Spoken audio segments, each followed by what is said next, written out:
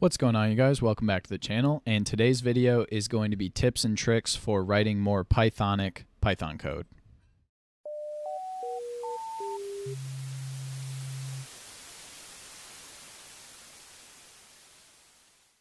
So when I say Pythonic, this maybe is a term that you've heard referred to if you've ever been asking for help on the internet or Reddit, and people will tell you, well, your code works, but it's not completely Pythonic. And what they really mean by that is that there's a style of writing your code that object oriented programming and especially Python, where it's maybe not actually improving the functionality of it, but it improves the readability, the simplicity of your code, and it makes it kind of used in the format that the Python programming language was intended to be used. So it's kind of like your code may work, but there could be a much simpler and more efficient way of writing it. And these are a few of the tips for how to make sure you're following those standards. So the first thing is one statement of line per code. Um, and this one is probably the most common across all programming languages. So the next two that we'll look at in this video are maybe a little more Python specific, but really, however you program whatever language you write it in, putting more than one statement or uh, function on one line of code is just overly complicating your programming needlessly. So, one statement per line of code. And let's look at a few examples because you could. So, don't do this, but you could print the word one, and then on that same line of code, you could print two print two and just separate them by a semicolon. So you could do this and it'll run oh, extra punctuation and it'll run. Let me go ahead and run that. And you can see you get one and then you get two on the next line, but do this the right way to do this and obviously I'm using simplified examples just so I can show them in a quick video but this becomes more of an issue with more complex programming. So you're going to see if I run this and I'm going to separate out the good and the bad by just a blank line so it's a little more clear. I'm going to run this we're going to see the exact same output twice one two one two. But if you were debugging or working with this code and you had to go through and you had to look and see and say this wasn't just printing one and printing two. This was a complicated math function, and then this was a complicated math function. Put them both on their own line. Um, and that really cleans up your code. It makes it easier for troubleshooting and debugging because a lot of the times when you get error messages in Python, it tells you what line the error is occurring on. And so if you have two complicated things going on in the same line, you now don't have as spe- specific of troubleshooting either. So that's uh, one tip and maybe a better example of why you would want to do that.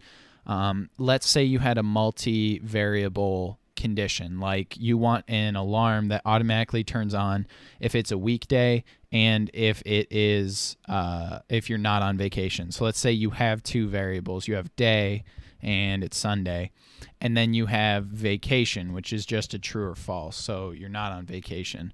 Well, what you want is this variable alarm to be true if it's a weekday or if you're on vacation. So if you're doing all of that on one line of code, you're going to be doing a check if day is equal to Monday or, and I'm going to copy this to speed it up a little bit.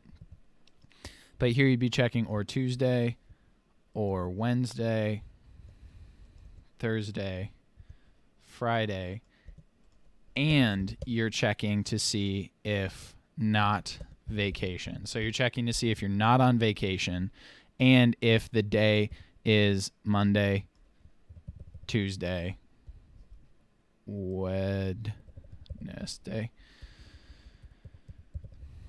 Thursday, and here we go. Let's finish it off. Friday, and we don't need that last or.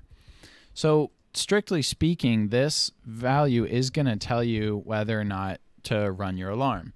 Um, so I'm going to go ahead and run that. And we'll see that when it is Sunday, but you're not on vacation, your alarm should still not be on because it's not a weekday. Well, the Pythonic way to do this, and what we're going to do now, I'm going to copy these three down into the good section and we're just going to modify them. Don't don't just stick day in here five times for this check. Do an intermediate variable, call it weekday, and make it equal to these conditions in here. Okay, so weekday is a true or false variable now, which is equal to any of these conditions where the day is equal to Monday, Tuesday, Wednesday, or Thursday.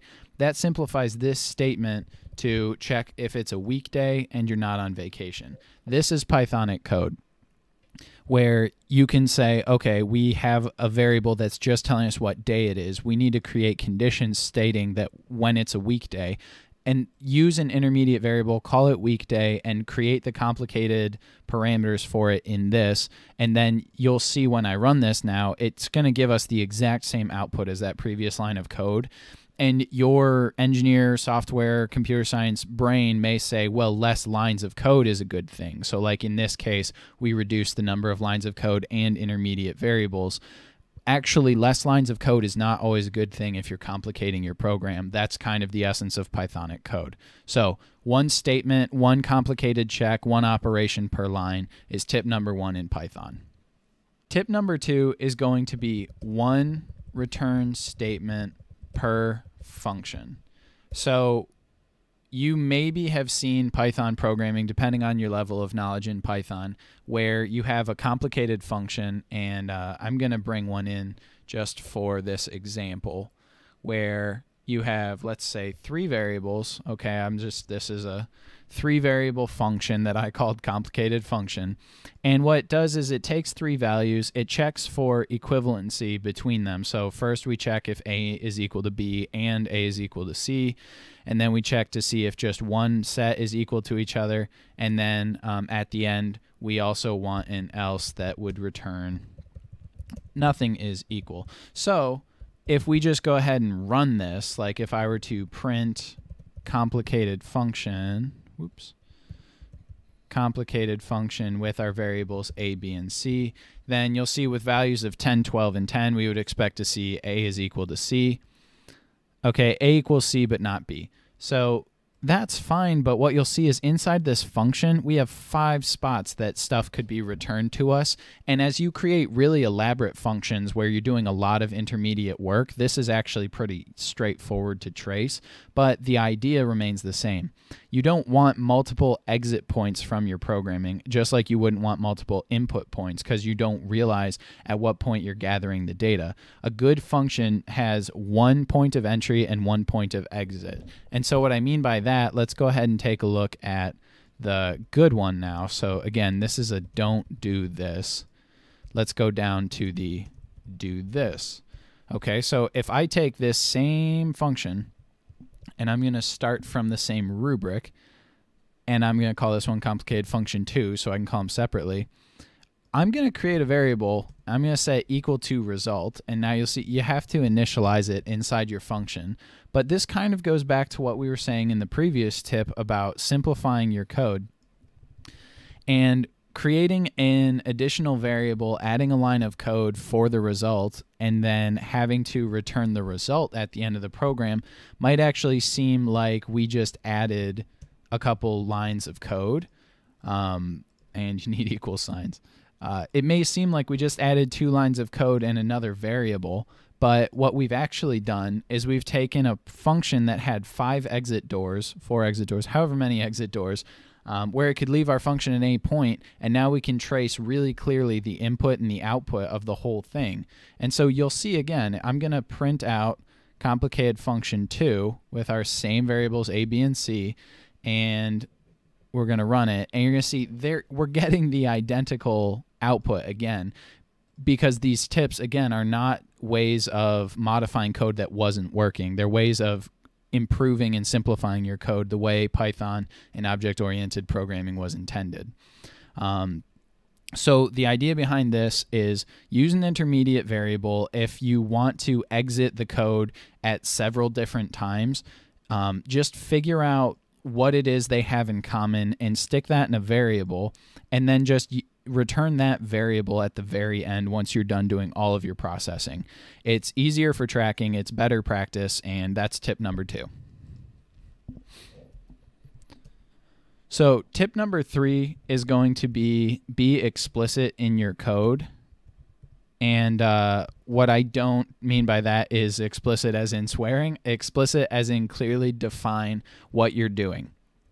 Um, and so the idea behind this is uh, you can at times sim- do what you think is a shortcut, like return inside of a variable excuse me, inside of a function, return all of the local variables inside of that function in a dictionary because Python has a built-in tool for that. The problem is you don't really have clear eyes on what you're sending back to the user then. So let's do an actual example of this. More coding, less talking. If I have variable A and variable B, and we won't get in trouble because we're redefining them, um, but if I have those two variables and I define my function as something that receives an A and a B, and then inside of this function, we are going to do some operation that we'll just say is equal to A plus B, and then we decide to return uh, because now we want to be clever, we know a little Python, and we want to use a shortcut. Um, and you return this dictionary of all of the locals. And if you don't, if you're not familiar with this uh, nomenclature, don't worry about it. Um, but if you've ever seen this locals, uh, this is a way of getting all of the variables used inside of a dictionary as a uh, or used inside of a function as a dictionary um, where you get as the key for each dictionary entry, you get the variable name, and then the value is whatever value they have inside of them. And I'll just, uh, to show that, I'll kind of print what happens if my function, my func, and then we pass in A and B, okay, and let's go ahead and run that. That should do it.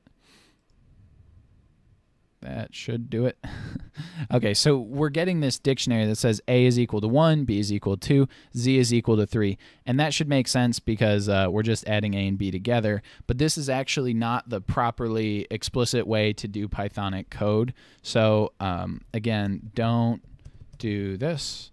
And let's show what you could do instead. Um, now, let's say we're going to have all of this. We're going to do my func 2 and we're going to do my func too.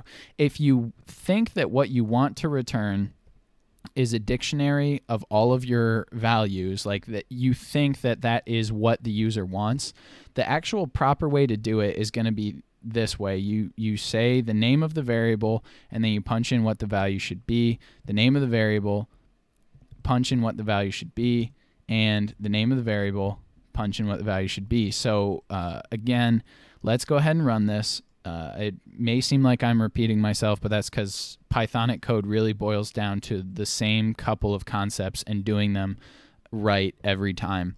Uh, you can see here the output is the exact same as the first function. And so you may say to yourself, like, well, I've got 12 local variables and, uh, you know, I'm clever and I know this built in honestly, if you're at the point where you're writing really complicated functions and you're doing really advanced Python, you can make the judgment call of whether or not your program is going to work this way.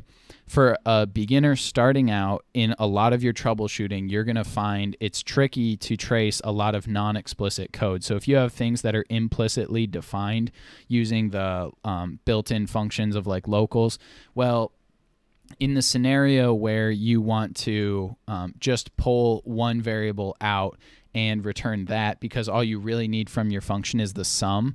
Uh, if you wrote your program like this, then you're going to have to change it to just return the sum. Whereas if you wrote it like this, then you can pretty quickly see like, oh, okay, I'm just going to grab from index two of my dictionary. Um, so these are not maybe things that you run into constantly. I imagine these tips ranged from, you know, useful in every single line of code to useful in some of the functions you write to kind of a special case. But having all three of these in mind uh, when you're writing code is a really good starting point to start building out more um, extensive Python files. And keep in mind a good way of keeping simplicity um, in mind when you're doing it. So, again, a lot of these things would be considered ways of improving your code, writing more Pythonic code. But at the end of the day, um, the whole idea with programming is that you create a function that works for you. Once you're on a team, it needs to work for the team. So these are ways to create e more easily readable and de debuggable uh, code. But um, there are a million different ways to do it. Python's an extremely versatile tool, so you may find that there's a scenario where it's not exactly Pythonic, but it's what you have to do to get working. Um, so these are just general guidelines. Also, if you are aware of some other Python tips or you've heard of other things that you don't completely understand and you'd like to see me discuss in a future video, just let me know about in the comments below. I'll try to get to it uh, as soon as I can. And um, be sure to check out the channel for tons of tips and tutorials on Python and other platforms. And uh, if you did find this or anything else on the channel useful, I really appreciate a like on the video, a subscribe to the channel. It helps me out a ton. And let me know what you'd like to see in future videos in the comments, and maybe you'll see it on the channel pretty soon. So, as always, good luck with your code, and thanks for watching. Thanks. Bye.